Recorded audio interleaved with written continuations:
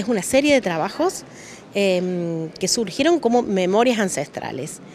Em, en este caso, este, es como la segunda parte, ¿no es cierto?, que se completa con memorias y umbrales ancestrales.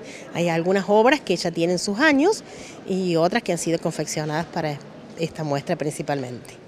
¿Y cómo fue este proceso de recuperación de lo ancestral? ¿Cómo surge el interés por esta temática que luego se refleja en estas obras? Bueno, en mí surgió desde, siempre.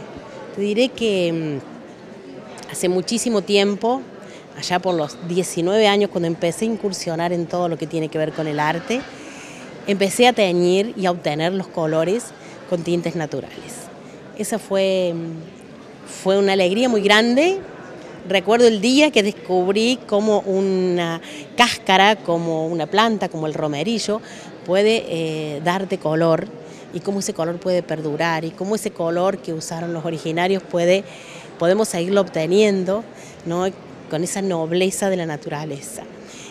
Y el desafío más importante es que vos tenés que desandar tiempos. Nosotros vivimos muy apurados y en realidad esto hay que disfrutarlo.